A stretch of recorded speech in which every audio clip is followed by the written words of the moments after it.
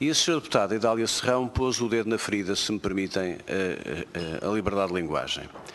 Na justa medida em que ela referiu que hoje a mobilidade ou a fixação de médicos fora dos grandes centros onde se concentram as tecnologias, onde se concentram os grandes hospitais e onde se concentram os operadores privados, que permitem uma complementaridade remuneratória segura, hoje esse jogo de motivações, se me é permitida a expressão, é feita muito em cima da reputação.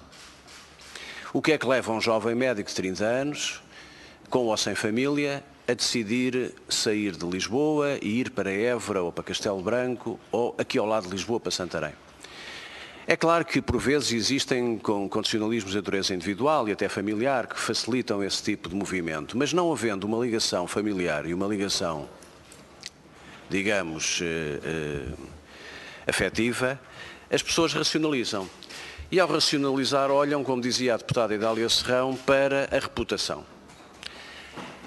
Eu chamo a atenção dos senhores, das senhoras deputadas e dos deputados para que no país nós temos vários hospitais da dimensão do Hospital de Santarém.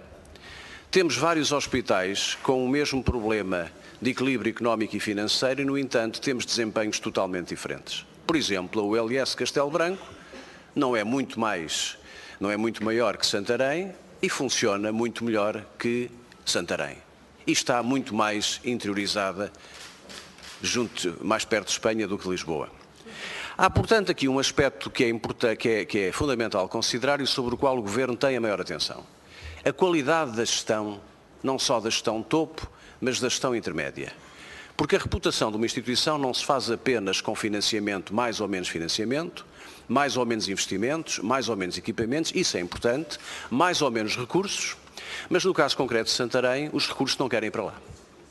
E, portanto, nós temos que melhorar a qualidade da gestão e responsabilizar os gestores por aquilo que é a reputação que o hospital gera para que médicos mais novos, ou em princípio de carreira, possam equacionar uh, a vontade de se instalar lá.